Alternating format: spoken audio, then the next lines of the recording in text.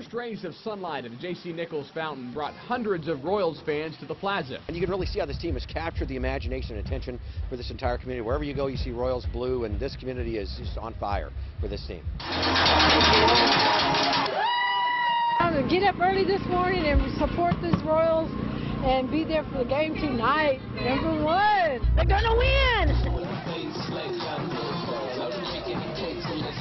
Slugger busted some moves to get fans pumped for game one of the ALCS. But a lot of these fans are already looking ahead. I just hope they win to the World Series. The Royals are gonna win the World Let's Series. do an arm wrestle. For the Royals to wrestle their way to their second World Series in a row, they'll need the full support of these fans. It's really exciting to see the city come together. Although it's a sporting event, sometimes so many bad things happen, and it's nice to come together for something this fun and exciting. Oh, it's a whole different thing when it involves the entire city.